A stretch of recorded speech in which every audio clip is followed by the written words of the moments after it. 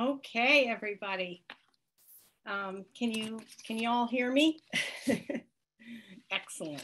All right. Um, well, we have uh, we might have some new people on tonight, and I just want to uh, I'm just going to speak for a few minutes about some things that I've learned uh, on my journey in this business. So first, for whoever is new, uh, I just want to say congratulations and welcome to your Juice Plus journey. And you most likely don't know uh, what to expect when you sign your distributor application, but I can probably uh, guarantee that most people feel two things um, that's pretty universal um, that that I felt and I hear other people say. And one is I'm not a salesperson, and um, and two is you know questioning can I do this? And I'm here to tell you a resounding yes, yes you can if you have the desire. Um, desire is a big one, and just being patient with yourself in being teachable and learning some new skills. And um, one of, I was thinking about this little training today, and um, one of my absolute favorite books.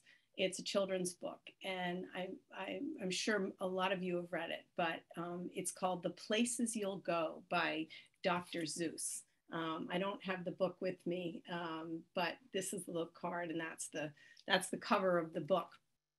And the theme of this treasured, timeless storybook tale is about self-confidence and identity and acknowledging you know future failures and working hard and you know getting back up when you get slumped. Um, you know and the the morals are, are universal into any meaningful endeavor um, that, that to success. So the book is really for adults. That's why I love it so much. But um, one of the lines from this book is, um, "I'm sorry to say, but sadly it's true that bang-ups and hang-ups can happen to you. You can get all hung up in a prickly perch, and your gang will fly on. You'll be left in a lurch. You'll come down from the lurch." With an unpleasant bump and the chances are then that you'll be in a slump. And as we say in our business, you know, there's no straight line. Um, and, you know, that's good because life would be too predictable. So uh, the message is, you know, embrace this journey because it truly is the most fulfilling part of your growth. Um, is that, you know, it's getting there is incredible but the journey to get there is what is all the meaning is about um, in this in this journey. So um, I'm just going to share a few tips um, from what I've learned. And um, the first thing right off the bat is, you know, be be proud of what you're doing and connect to why you're doing it. And the way we do this is, you know, to connect to our education, these calls that you're on tonight, um, just our community as much as possible. Um, when I was growing my business, I used my, my windshield time um, as much as I could to listen on calls and get those trainings. And the nutrition education was huge um, for me. So, you know, I always say if you're not connected, um, you're not inspired. So it will give you, you know, self confidence. Um, I think to center yourself um, you know, knowing that you're with the right product, with the right company, you know, with the right tribe. And, um, you know, people want to know, you know, obviously what you're doing, but they want to know why you're doing it because ultimately they're not just buying a product, they're buying you. So the way that you present it and, and why you're doing it um, is going to be that's what they're really going to be listening for. Um, you know, sort of not what you say, but how you say it. And one of the first books that I read that really resonated me is this book by Simon Sinek, and it's Start with Why. It's it's been around a while, but it's just one of those classic books um, that I think really um, zeroes in um, on some really great principles um, that are so like foundational um, in this business. And so the next thing is to keep your message simple.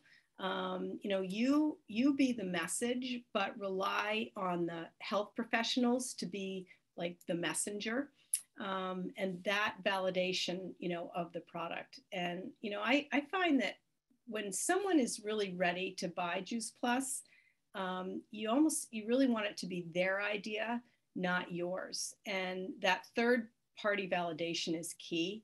Um, you know, that three way call or um, a health professional um, CD or, you know, a short video. Um, just that validation, you know, that's, you know, other than yourself, um, you know, they might hear from a friend or somebody else that, you know, that will be yet another exposure for them. So, um, you know and it's it's if you don't know the answer to a question either that is perfectly fine. Some people you know come into this business and they think oh my gosh i have to know everything you know i have to know all the answers. And two things. One no you don't. And two is you'll never learn you know like everything that you need to learn. I mean people do you know throw a lot of different questions at you but um, you, you don't you only need to know a, a very few um, to get started. And it's totally fine to say you know i don't know the answer to that. It's a great question um, but i'll get back to you you know with the answer. And um, another thing i've learned is um, it's not about you. Um, you know it's it's really all about the person you're talking to. And another book that really helped me with this um, was um, a book called The Four Agreements. And I remember Susan Wittenbach, who's on the phone, she told me about this book. And um, I loved it because it was short. I'm like, oh, good, a short book. Um, but it's by uh, Miguel Ruiz. And he, he's just got four principles in this sweet little book. But again, it's it's one of those, you know, profound um, you know little things that can sit by your bed and what um, he says is basically, you know, be impeccable with your word. Um, don't take anything personally and don't make assumptions and always do your best. And I find that if I, you know, you we stick with those principles, um, really things things don't go wrong because you're sharing from your heart and you are doing your best, and people always see that. Um, so you know, um, don't be discouraged um, by the no's. You know, if you're doing the activity of having active conversations, you know, our business really is a numbers game. Um, and there's a great book called Go for No by Richard Fenton. And he says that a yes is the easy part of the job. You know, we all get excited when we get a yes, yes, yes, yes, but it means that you've gone through, you know, a lot of no's um, to get there. So, you know, the um, you're honing an important skill through the no's and really learning that art of conversation. So, if you get into a slump, you know, don't slump along. Call your sponsor. Um, you know, if you doubt yourself, because you don't want to stay in that prickly perch um, and you know, sometimes the first three people you talk to, um, you know, may not be interested in Juice Plus, especially if they're your family members. Sometimes family members are definitely the toughest. Um, you'll speak to your first three family members and they're not interested, and you think, oh, you know, I can't do this. Um, but that's not true. Um, sometimes it's easier to talk to strangers than it is to your family. But um, so our, our business is a series of exposures. It's kind of you know the long game. So it's it's definitely normal to have a no and a bad day at the office. Um, but your sponsor is there to help you you know and kind of help pick yourself up the floor. And so don't keep that to yourself. You know if you're feeling down and oh I've had a bad day you know call your sponsor or or their their sponsor. You know there's a whole plethora of a community of people um, to, to help you. So that, you know they're they're there to get you through that. And you know the goal is really to be a more to me more effective right? You know not not to be perfect. And um, you know the next time you, you know you'll learn to have more of a, effective conversations because you're gaining you know these skills with each time you talk to people Um, and I always think I liken it to, you know, being a brand new baby. Um, you know, we don't walk right away, right? We we crawl and we fall down and um, we pick ourselves up, and that's kind of, you know, the way it is. And just, you know, embrace embrace the suck sometimes, you know, so to speak. Um, and you know, just try not to get like hung up on the outcome. You know it's this is the long game and you're investing in relationships with your customers and your partners and um, you know just being especially with your partners um, understanding that you know it's it's their timeline not yours. You know sometimes we get so excited and we want this for them so badly and um, but we always have to remember that it's their timeline and um, you know respectful of that. And i think if you do um, you will find that your customers and your team members um, stick around for a very, very long time. I mean, you heard some of the people on the call tonight. You know, my team members, they've, they've been around a long time and they've had incredible journeys with that and with this. And they've gone off and they've done other things, but, you know, they're still, they're still here. And um, that not only is financially the, you know, the bread and butter of your business, but it is the richness of your relationships with with people having these deep relationships that last over time. And that to me is it's so precious you know i mean there's nothing more um, special than that. So um, and then you know being a good listener i mean that's that's absolutely for anything. I was at my business networking group today and you know we went around the room and every single business owner said that being a good listener is like their superpower. Um, and it is the hard, I think it's one of the hardest things to learn because, um, you know, active listening. I remember I have to work very hard to not spin in my head a response to when somebody is speaking because you know you, you want to almost think okay what am i going to say to this person but if you can kind of just relax into the conversation and watch their body language and really hear what they're saying um, and obviously that's not always possible right? If you're you know got three kids in your arms and you're in the supermarket and you know time is short um, you know you can actively listen in very short snippets. But um, if you ask a clarifying conversation it gives that person something to consider um, or think about the before you have that next conversation or exposure with them um, so I've, I've really worked on my active listening and um, I can tell you people really, really appreciate it. Um, we don't listen to people enough in this world. And, and I know that I get a good response when I, I practice that.